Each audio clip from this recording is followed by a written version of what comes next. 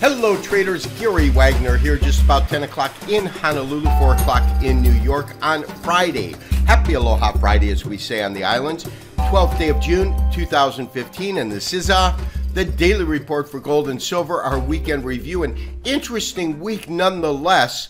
We currently have a real quiet ending to the week. We've got Gold trading in essence unchanged. Actually, right now it is unchanged at 1180.40. We have seen this market trade as low as 75.60 and as high as 83.70. So as you can see, a very, very tight range. Silver is trading a little bit lower on the day, currently trading at 1590. It has had a low of 1578.50 and a high of 16 even or 16 and a half a cent. We'll call it 16 even and currently trading as I said 1590 on the day. We did send out a trade alert yesterday, and in that trade alert, we talked about putting an OCO. One cancels the other order in. We also talked about that on the show. We'll kind of touch base on that when we cover silver in a little bit. So, traders, as we look at some of the other markets, we do have the US dollar is now trading slightly negative. It was slightly positive throughout the day. You can see this daily chart, not that much activity. Let's go ahead and blow this up, but you can see this day right in here right here. So not really that much activity. You've had a range today, but it does appear as though it's going to close very, very close to the open on the day. Really, the other thing that we were looking at, of course, was crude oil. Crude oil down about 80 cents on the day at 59.98. Let's take a look at gold. So, traders, no doubt, quiet week this week, but the truth is, I don't expect it to be quiet next week. Realize we have a Fed meeting scheduled for next week. We've got the scenario going on with the EU and Greece uh, whether or not they're going to be able to come to some resolution, whether they're going to figure out a way for Greece to pay its bills, so to speak. But we've got a lot of activity going on, and that, as you know, in terms of fundamentals, could absolutely sway our current technical indicators because fundamentals always lead technicals. Technicals are simply a, a way of distilling historical information, putting it into perspective, and being able to act upon it. We've got gold right now as I said, in essence, trading unchanged, currently up about 20, um, 20 cents on the day. But the key thing that I have been looking at, and I really believe that this has been a, a, telling sign in terms of where our current price is going, is simply by looking at our channel. And when we look at our channel, we can see a couple of things. Uh, the first thing is it's obviously in a downward channel when you consider market was at about 1230 here. We've got this low just above 1160. We've been in that downward channel, but what we've also noticed is that this market has genuinely be tra been trading from the top of the channel down to the bottom, then moving back up here. It just went a little bit past mid-range, but came back. But you can see right here again, that channel line does give us some real strong data in terms of where it's going to find either support here or resistance here and it's been following right within these tracks. Now over this last week week and a half we've seen the market come up to the upper ends of the channel line. Again we're looking at a daily chart. So this is today yesterday and wednesday. So by wednesday we hit the top of the channel. We've been moving down ever since. Now when we look at this in terms of a straight candlestick pattern, right in here, what we see is uh, really it's called a bearish harami. It's an inside trading day to a Western trading technician. This is not a very, very strong confirmation. Confirmation on this pattern because it's one of the um, weaker of the key bearish reversal candlestick patterns. You really want to see a solid drop. You want to see a, a candle that has some size Obviously, it has to be red, but has some size. And you also want to see it closing near the lows of the day. A red candle simply means that it closed below the open. But what you really want to see is it closing near the lows of the day, especially on a pattern like this, that inside trading day, this would be a, an, an, example right here of closing near the lows of the day. This would be an example of it not closing near the lows of the day, simply because you have this long wick at the bottom. But that being said, it is a bearish pattern. We are still within a really a downward cascading channel line that has been a downside bias. And we have one other thing we might want to look at, which is the Japanese average charts. So, traders, I've done just that. I have basically moved our candlestick chart and converted it into a Japanese average chart. Of course, you saw that bearish Harami before. Now that we're looking at a, a candle that's composed of an open, which is the midpoint of the prior day, you get a little bit of a difference.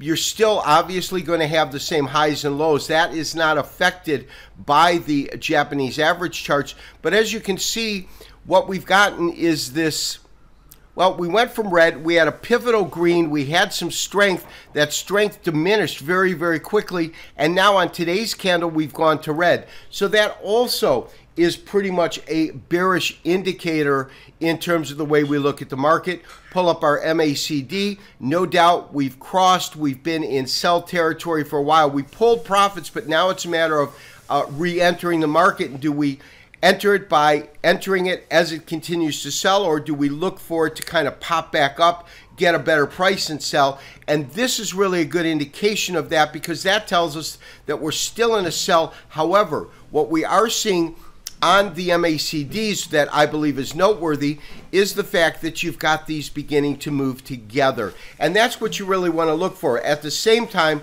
we've had a series of really false positives within this market so we want to be able to look at this, see if this is going to cross back up, but you could easily, traders, easily get this kind of moving like this and then dipping back down, something like that. We could easily see this little uh, hook up, so to speak, as nothing more than a, a blip on the radar.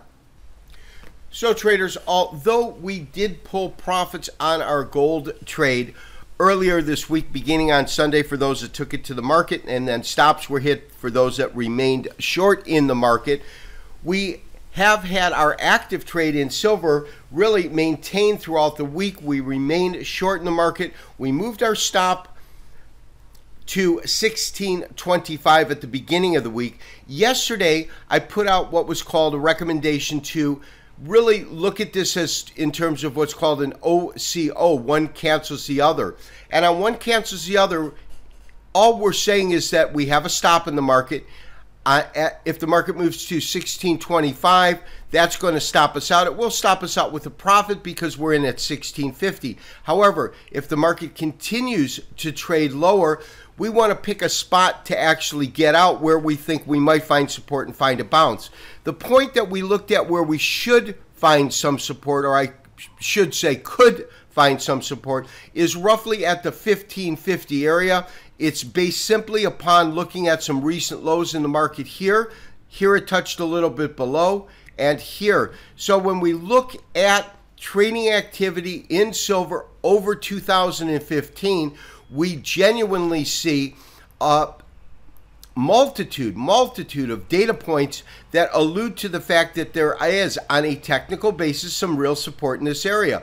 So my suggestion is to put that OCO at about 1555. You could put it at 1560, but somewhere in that area. Now, the low today, about 78, so we haven't come close to it, but if we do get follow through selling at the beginning of the week, I personally think that this is a point in which the market could genuinely go to without too much problems whatsoever. So again, we are going to go into the weekend with no active trades in gold. We're going to maintain our short silver. We have an OCO in our silver. Either stop us out at 1625 or let us uh, buy that back, so to speak, at 1555. This has been Gary Wagner wishing you as always good trading We'll talk to you on Monday for another daily update and review.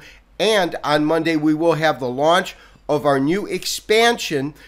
And that expansion, the trend chartist is going to be covering a multitude of markets that I really think have substantial opportunities. Now, I don't want you to think in any way that I'm abandoning gold. My grandfather was a gold trader. It's in my blood, and the gold forecast will always be a primary, primary focus to me because uh, gold has always interested me and it's something that I've actively traded for years upon years upon years. However, I believe that we're probably going to see some sort of real bull move in the market but that move might be six months or a year down. We might still have lower to go, which is what I feel right now.